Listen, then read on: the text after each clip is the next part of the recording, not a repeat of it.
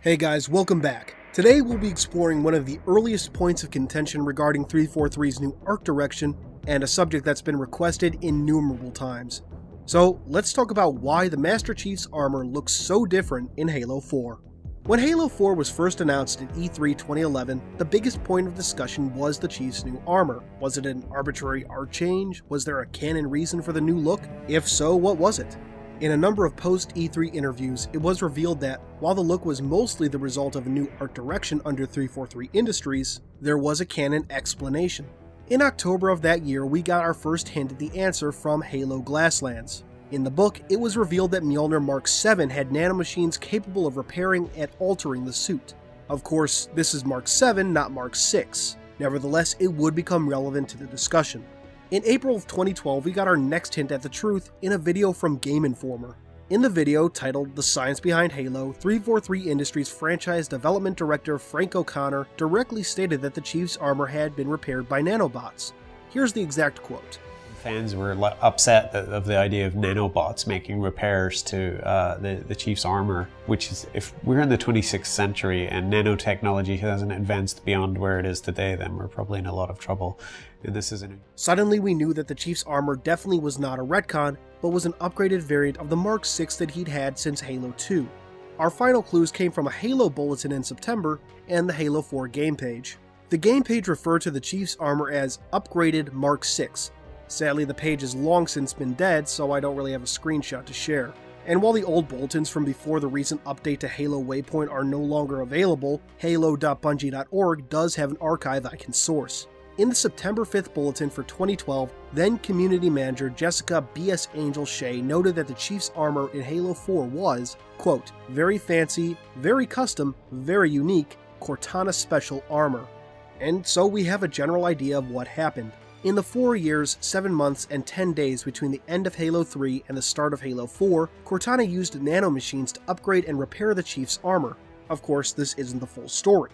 Where did the nanomachines come from? If Cortana was upgrading and repairing the suit, why did the gash on the right breastplate remain? Let's tackle these in order starting with the nanomachines question.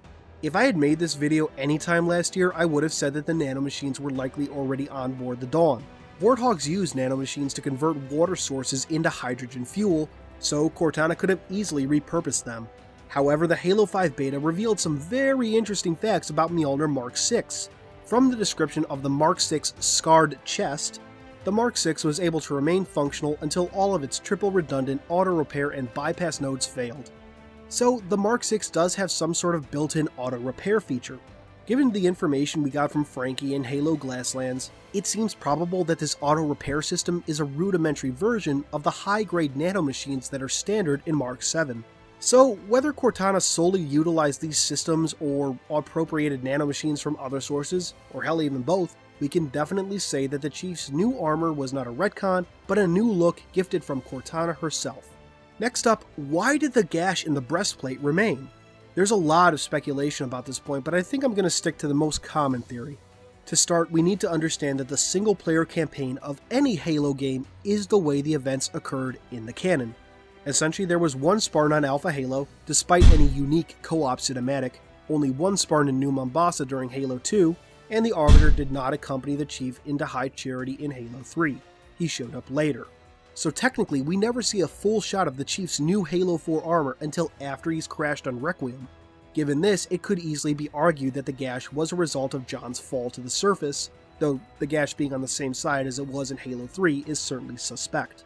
The final nail in the coffin for any notion of the Chief's armor being a retcon comes from the Halo 4 visual guide.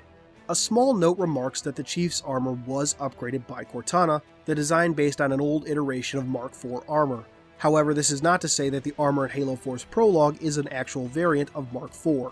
Based on does not necessarily mean looks exactly like, especially since Josh Holmes, the creative director for Halo 4, stated that the opening was canon story-wise, but the armor scene was not. And so, there you go. Cortana upgraded the Chief suit via nanomachines. The only unfortunate part is that 343 didn't really communicate this in a very effective manner, especially for fans not heavily invested in the fiction. Many could argue that this line from the Chief does explain the aesthetic change. You've been busy. Activating the. And while I tend to agree, I don't think many fans would consider the purpose of that line to denote the Chiefs' new look, not without some prompting. So, I hope this helps settle any debates in the future. Relevant sources are linked in the description below for anyone who wants to read slash watch this stuff for themselves. For now, this has been Halo Canon, and I'll see you next time. Hey guys, thanks for watching my video. It means more than I can express in a few minutes of audio. If you did like it, please give it a thumbs up, subscribe, share it around on whatever social media you see fit, and all that jazz. Thank you so much. Your support is everything. I would not be where I am without you. Thanks.